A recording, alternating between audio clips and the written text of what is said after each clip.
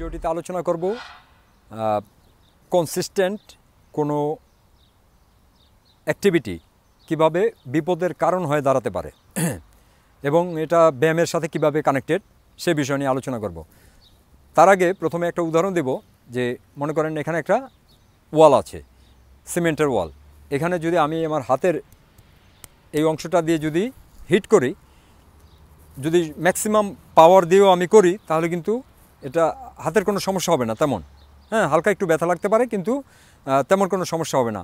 তারপর যদি আমি রেস্ট নেই, পাঁচ দশ মিনিট রেস্ট নিয়ে, তখন এই সময়ের মধ্যে কিন্তু হাতটা রিকভার হবে। রিকভার হলে আমি আবারও ওই সিমিলার স্ট্রেন দিয়ে আমি হিটটা করতে পারব। তখন এভাবে আমি কন্টিনিউয়াসলি যদি করে যাই, তাহলে মানে কোনো ক্ষতির কিছু নাই। এখানে আমার আলটিমেটলি দেখা গেছে কি মাসেলটা স্ট্রঙ্গার হবে। বোন জয়েন্ট ইত্যাদি স্ট্রঙ্গার হবে ওকে কিন্তু আপনি যদি কনসিস্টেন্টলি করেন যে, যেভাবে প্রথম উদাহরণটা দিলাম যে, যদি খুব জোরে খুব জোরে না মেরে জাস্ট দশ ভাগের এক ভাগ পাওয়ার দিয়েও যদি আপনি কনসিস্টেন্টলি এভাবে মারতে থাকেন, তাহলে দেখা গেছে এক দুই ঘণ্টার মধ্যে আপনার হাতে ব্লিডিং ব্লিডিং হবে জয়েন্টে পেইন হবে, তারপর ইভেন বোন ভেঙে যেতে পারে। এক্সট্রিম কেসে এরকম হতে পারে। তো যাই হোক, এই উদাহরণটার অর্থ হচ্ছে এই যে কনসিস্টেন্টলি না করে জিনিসটা যদি আপনি ইন্টারভেল মানে কোনো বিরতি দিয়ে করেন, তাহলে এটা হেলদি অপশন এভাবে করলে আপনার ইনজুরি বা কোনো ডেঞ্জারের সমস্যা ভয় থাকবে না। এখন এক্সারসাইজের প্রসঙ্গে আসি। যে সবচেয়ে বেস্ট ফর্মের যে ফ্যাট লসের এক্সারসাইজ রয়েছে, সেটাকে বলা হয় আপনার হাই ইন্টেন্সিটি ইন্টারভেল ট্রেনিং দেখছেন ইন্টারভেল ওয়ার্ডটা এখানে আছে। ইন্টারভেল অর্থ হচ্ছে হাই ইন্টেন্সিটি আপনি প্রডিউস করতে হবে বেস্ট রেজাল্ট পেতে। কিন্তু হাই ইন্টেন্সিটি তো আপনি কতক্ষণ করা সম্ভব? মানে কনসিস্টেন্টলি তো হাই ইন্টেন্সিটি করা সম্ভব না। যেমন আপনি আপনার শরীরের ম্যাক্সিমাম পাওয়ার ইউজ করিয়া যদি দৌড়াইতে বলা হয়, তাহলে কিন্তু আপনি কতক্ষণ দৌড়াইতে পারবেন? বিশ মিনিট কি পারবেন? না। থার্টি ফোর্টি সেকেন্ডের মধ্যে আপনার কিন্তু এনার্জি শেষ হয়ে যাবে। ক্যাপাসিটি শেষ হয়ে যাবে। তো মানে কোয়ালিটি যদি বেশি হয় কোয়ান্টিটি কমে আসে।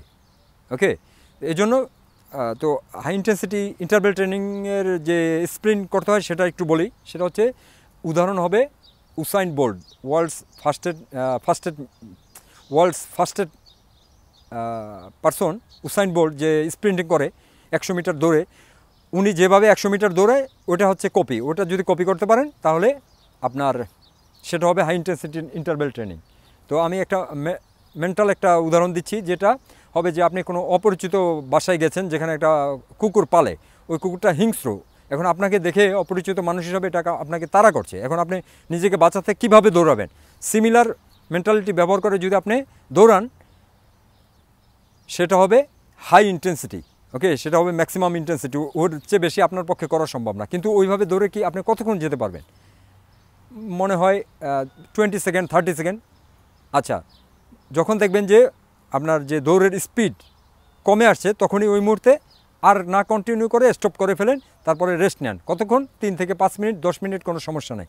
যতক্ষণ পর্যন্ত আপনি মনে করবেন যে আমার বডি রিকভার হয়েছে, আমি পরবর্তী রাউন্ডটা পরবর্তী দৌড়টা আবার দিতে সক্ষম হাই ইন্টেন্সিটি ব্যবহার করে দিতে পারব। মানে হ্যাঁ ক্লান্ত অবস্থায় দেওয়া না মানে ফ্রেশ অবস্থায় সর্বোচ্চ শক্তি ব্যবহার করে দিতে পারব। তখনই আপনি পরবর্তী সেটটা করবেন। তো এভাবে কয়টি কয়টি রাউন্ড করবেন? টোটাল আটটি রাউন্ড। এটা এটা হচ্ছে সবচেয়ে বেস্ট ফ্যাট লসের এক্সারসাইজের পদ্ধতি। এটা বেস্ট হয়েছে এই কারণে কারণ এই পদ্ধতিতে করার মাধ্যমে আপনি আপনার নার্ভাস সিস্টেমকে স্টিমুলেট করতে পারেন এবং আপনার হরমোনাল সিস্টেমকে স্পেশালি গ্রোথ হরমোন এবং টেস্টাস্ট্রন তো এই জন্য অপরপক্ষে আপনি যদি দেখেন যে লো ইন্টেন্সিটি অথবা মডারেট ইন্টেন্সিটির যে কনসিস্টেন্ট কাজ, যেমন দৌড় আমাদের মধ্যে অনেকে মানে চর্বি হওয়ার পরে তাদের প্রাইমারি চিন্তাভাবনা থাকে যে আচ্ছা আমি কাল থেকে দৌড়াবো এক ঘণ্টা করে। তো ওই যে এক ঘণ্টা করে ডেলি দৌড়ানো, এটা সিমিলার হচ্ছে আপনার যে যে এইভাবে যদি মানে কনসিস্টেন্টলি কোনো রেস তারা বিটিং করতে থাকেন, যেই সমস্যা সিমিলার সমস্যা। কারণ আমাদের হার্টটা বিটিং হতে, প্রত্যেকবার বিটিং হতে কিছু কাঁচামাল দরকার। যেমন গাড়ি চালাতে তেলের প্রয়োজন, হার্টেরও কিছু নিউট্রিয়েন্টস প্রয়োজন, যেমন ভাইটামিন এবং মিনারেল তো প্রত্যেকবার হার্টকে আমরা অ্যাক্সেসিভলি আপনার বিটিং করছি, যার ফলশ্রুতিতে আমাদের শরীর থেকে জমানো ভাইটামিন এবং মিনারেল ওইখানে কিন্তু ব্যবহৃত হচ্ছে। অলরেডি আমাদের খাবার দাবার তো ভালো না।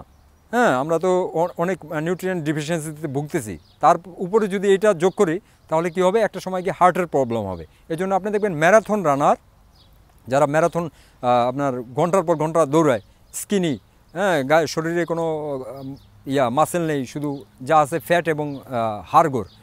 তো এদের এই অবস্থা হওয়ার পিছনের এই অন্যতম কারণ হচ্ছে এটা, যে কনসিস্টেন্ট কারণ আপনি যে কোনো এক্সারসাইজ করার সময় আমাদের শরীরে হরমোন কোর্টিজলের স্পাইক ঘটে ওকে কোর্টিজল হচ্ছে একটা ডিস্ট্রাকটিভ হরমোন এটা সব কিছুকে ব্রেক ডাউন করে হ্যাঁ?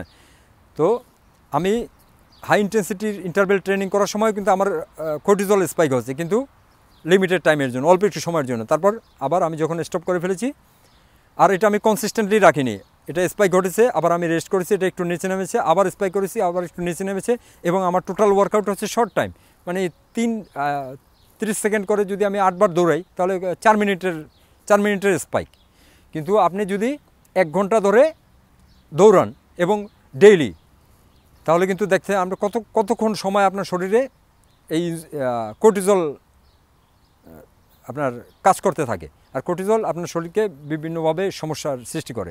স্ট্রেস বাড়ায়, তারপরে আপনার অনেক ব্রেকডাউন করে। এটাকে বলা হয় ক্যাটাবলিক হরমোন অপরপক্ষে যে হাই ইন্টেন্সিটি ইন্টারভেল ট্রেনিং যেটার কথা বললাম, যে স্প্রিন্টের ওটা কিন্তু আপনার ডেইলি করার কাজ না। ওটা রিকমেন্ডেড ওয়ার্কআউট হবে এরকম যে আজকে করলে কালকে রেস্ট পরশু দিন আবার করবেন, সপ্তাহে তিন দিন। কারণ হচ্ছে মানে যখন এক্সারসাইজ করি, তখন তো আর আমাদের কোনো বেনিফিট হয় না। তখন আমরা শুধু ব্রেকডাউন করি কোর্টিজলের মাধ্যমে।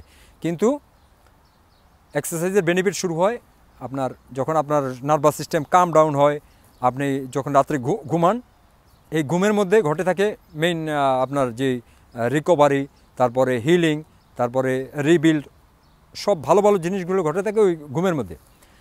তো এভাবে যদি আমরা করি হাই ইন্টেন্সিটি ইন্টারভেল ট্রেনিং সেটার যে হরমোনাল বেনিফিট সেটা আমরা পাবো up to minimum forty eight hours up to minimum forty eight hours কেউ কেউ বলে এটা সেভেন্টি টু আওয়ার্স পর্যন্ত এটা বেনিফিট থাকে। যাই হোক মিনিমাম ফোর্টি টু আওয়ার্স সেজন্য আজকে করলে, কালকে বন্ধ। দেখছেন? তাহলে কত কত কম করে আপনি কত বেশি লাভ পাচ্ছেন? কোনো আপনার ডেঞ্জার নাই, কোনো বিপদের সম্ভাবনা নাই। অপরপক্ষে এই জাতীয় যে এক্সারসাইজ যে আপনার কার্ডিও করা জিমে দেখবেন অনেক মানুষ আছে ডেইলি আপনার এক দেড় ঘণ্টা করে বিভিন্ন কার্ডিও মানে কার্ডিও মেশিন ব্যবহার করে তো কার্ডিও প্লাস আবার অ্যাপসের এক্সারসাইজ মানে যে অনেক ধরনের, তারপর স্কিপিং রোপ অনেক কিছু মিক্স করে প্রায় দেড় দুই ঘণ্টা আপনার এই অ্যাক্টিভিটির সময়টা দেড় দুই ঘণ্টা বাড়ায়। কিন্তু তারা বুঝতেছে না যে প্রত্যেকটা মিনিট তাদের কিনতে হয়। তাদের নিউট্রিয়েন্টস দিয়ে ভাইটামিন মিনারেল দিয়ে এগুলো কিনতে হয় এই টাইমটা ঠিক আছে? তো অলরেডি সবাই ডিফিসিয়েন্সিতে ভুগতেছে, তারপরেও কিন্তু তারা আরও খারাপের দিকে যাচ্ছে। তো এভাবে এভাবে চিন্তা করে সব এক্সারসাইজ করবেন।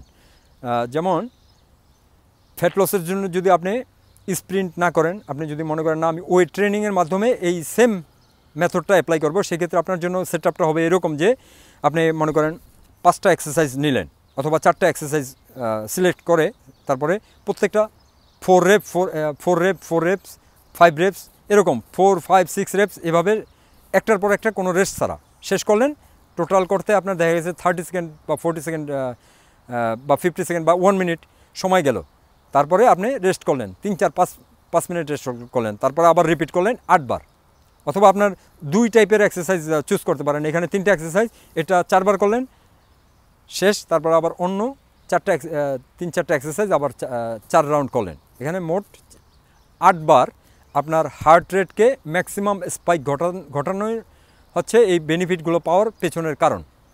হ্যাঁ কিন্তু কি পয়েন্ট হচ্ছে ইন্টারভেল ইন্টারভেল হচ্ছে খুব ইম্পর্টেন্ট জিনিস। সেই জন্যই যে ইন্টারমিডিয়েন্ট ফাস্টিং কেন এত বেশি পপুলার এত বেশি কারণ হচ্ছে আপনার ইন্টারভেল আমাদের যে রোজা রোজা কেন পুরো মাস ধরে রোজা হয়নি? কারণ ইন্টারভেল হচ্ছে হেলদিয়েস্ট অপশন যেমন আপনি সারাদিন না খেয়েছেন, তারপর একটু খাবেন, তারপর আবার রোজা রাখতে পারেন, এভাবে। যেমন আপনি একবার হিট করলেন, তারপর রেস্ট করেন, তারপর আবার হিট করতে পারবেন। ঠিক আছে? কোনো সমস্যা নেই। কিন্তু কনসিস্টেন্টলি করা, এটা খারাপ জিনিস। তো আশা করি বুঝতে পেরেছেন। ধন্যবাদ। প্রিয় বন্ধু, এই ভিডিওর ইনফরমেশনগুলো যদি আপনার উপকারে এসে থাকে, তাহলে প্লিজ চ্যানেলটি সাবস্ক্রাইব করুন এবং আপনার বন্ধুবান্ধবের সাথে ভিডিওটি শেয়ার করুন। ধন্যবাদ।